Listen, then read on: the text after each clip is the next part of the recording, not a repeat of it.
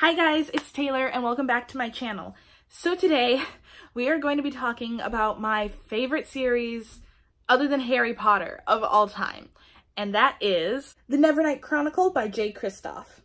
I'm gonna put these down because I can't hold all of these. So these books are fantastic, but um, I'm gonna let my review speak for itself. Now, if you haven't seen my Six of Crows um, pros and cons video, uh, this is a new review format I'm trying out because I think it'll help me just get reviews out faster.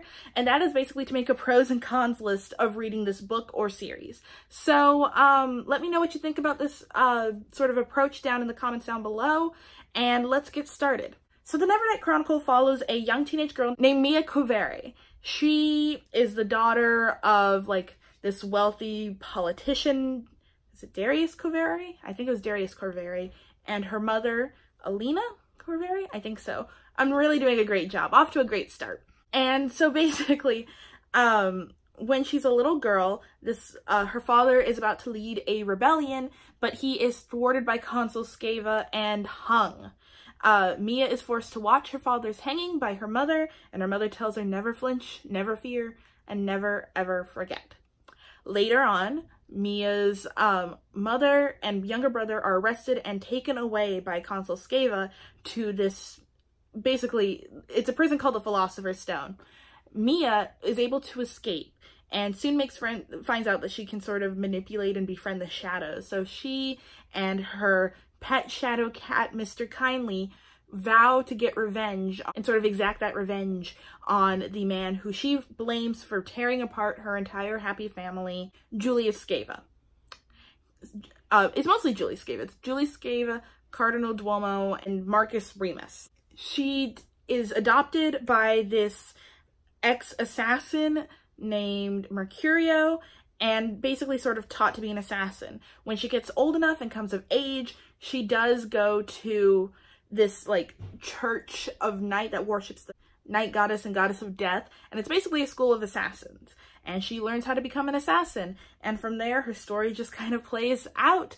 Um, and her quest for revenge plays out. And you get the idea that her and her ability to manipulate the shadows is meant for much more than that. This is an interesting world. I should know that the world of Nevernight has three suns that are up in the sky at almost all times, and then when they fall, you are plunged into true dark. So, just wanted to let you know because I think that's a really interesting idea. So I've been talking enough, let's get to the pros and cons list. The first pro, these books are hilarious the tone used and the writing style used and a lot of the writing choices used, I think really adds to the humor of this book. So if you don't know, the Nevernight Chronicle has a lot of footnotes, which at first can be very daunting, but it's a way for the narrator to sort of have an aside. So for example, you could, uh, the book could say something like, Mia stabbed Bob. And then the footnote would say, Bob, in fact, did not enjoy this. And it's sort of a way to in, um, add humor. And I think it's also a way to really build up the world, but we'll get to that later. But I really do think the tone of the writing and the humor of the book boosts what I would normally see as maybe a good-ish book to a fantastic book. Con, it can be really tough to get into these series. I was so close to DNFing the first book, but it takes until you get past the first 100 pages, which is basically until Mia gets to the Red Church, to really get invested in the book and the story. Once you do, you're basically gone, you've sold your soul, but it does take a while to get to that point. Pro. Um, th this book is for adults. I should note that. It is not young adult, despite what a lot of bookstores seem to think. Um, but there is smut in this book and it is really well written. And I feel like that's really hard because it's really easy to make stuff like that cheesy. But I feel like the writing associated with it is really well written and it does feel earned most of the time. When characters are engaging in like sex and sex related stuff, it does feel like it's earned and you can really feel the relationship between the characters, whether it's romantic or just purely carnal. I think it helps a lot. Con without giving getting into spoilers, one of the re main relationships in the book I think has a really strong foundation and that I could see how they could get together.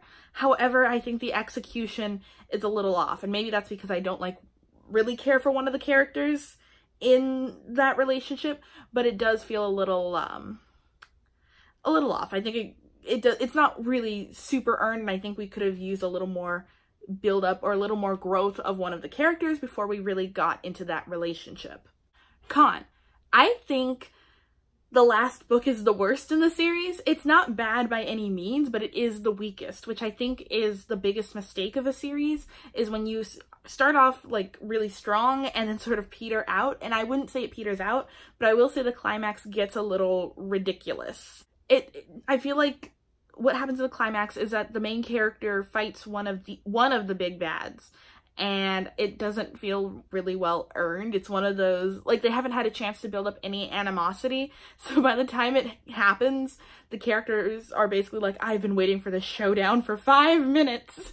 You know, I really would have liked a little bit more of a build up to what it, what should be one of the final climactic battles. And it didn't really feel earned. It was just a little, okay, I guess that happened. And I thought it was over too quickly.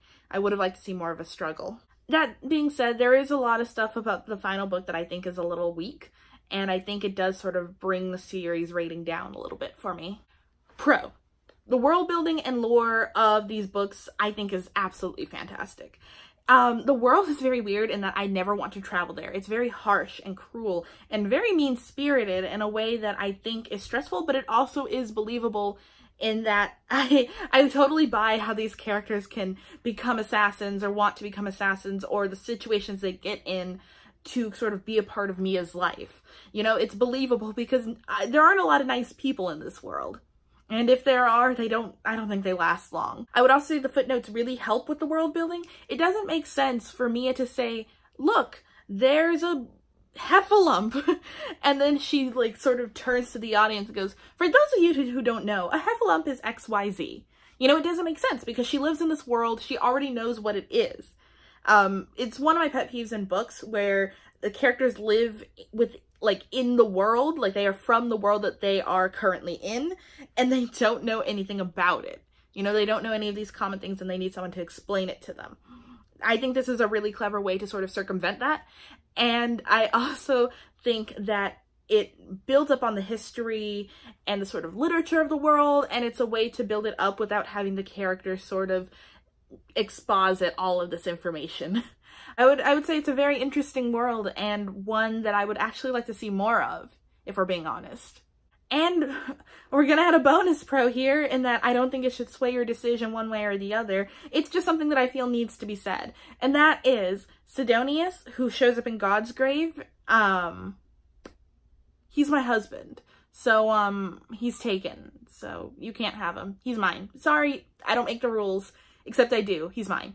So that was my review of the Nevernight Chronicle. For those of you who don't know, I give the first book 4.5 out of 5 stars, the second book 5 stars, and the third book, four stars. Overall, I would give the series about a 4.5 rating. I think it's absolutely fantastic. It's beautifully written. I do think that the ending sort of brings it down a couple notches because I think it's a little weak. However, I still enjoyed all of these books and I did weep like a baby at the end of the third book. So 4.5 star rating for the whole series. That's about it. Have you read the Nevernight Chronicle? Do you agree with my statements? If you haven't read the Nevernight Chronicle, are you convinced? Are you not convinced? Let me know in the comments down below. And also let me know what you think of this new review style because I kind of like it. It makes things a lot easier for me and I always like things that make things easier for me. Um, so yeah, thank you so much for watching guys. Don't forget to like, comment, and subscribe. And I will see you all in my next video. Bye.